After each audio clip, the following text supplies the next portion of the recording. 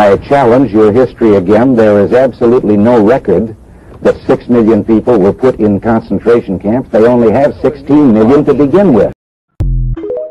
Before we dismiss this video as a deep fake or some sort of CGI and made up recording, I want to consider that maybe this is truth and they're just um, sort of giving us a shock. See, we're going to dismiss this because this just doesn't line up with our taught reality.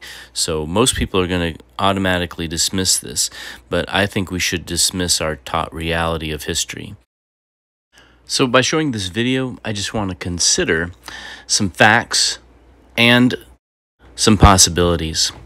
So considering the facts, we'll see there are no facts. There are no facts that they're outside of what we're told outside of our media. Everything that's within our media is where the facts come from. It's all created by other men. And see, your perception of those said facts are really just a created reality. Now, let's talk about some possibilities. Let's consider the possibility that what happened during World War II was just a hoax. It was something made by the people and people went along with it. I guess what I'm trying to say is we should consider this. What if our country came to ask us, would you like to have a war where you didn't have to kill anybody? You can just act it and it'll become the reality of the world. You don't have to have any physical contact. All you have to do is just make a few recordings and we'll show it to the world and it will become their reality. And we will defeat them by this reality? Would you be interested in that war? Would you be interested in prosperity and fighting for it in a way that ha- requires no physical contact? I think most of you, I think most of us would say that we would not want physical contact. We would rather win it just by acting it.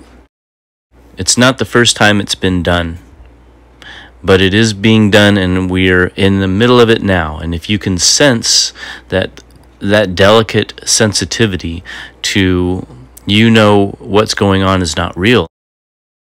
Well, you see, it was also done a long time ago, as it is today.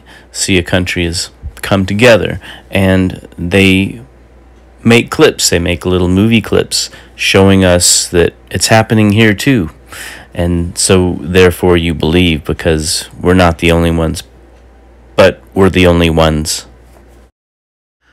Make no mistake, it is East versus West.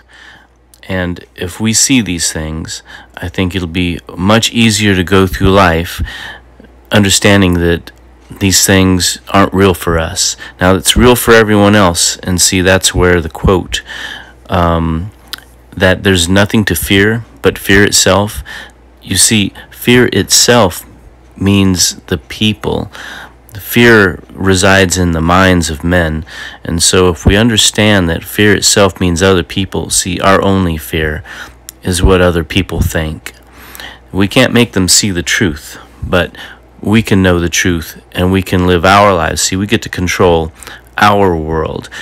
As sad as it sounds that others make our reality for us, and sometimes we're bound by the reality of others again see that fear of other people or fear itself is in other people. And that's all we have to fear is the fear of other people.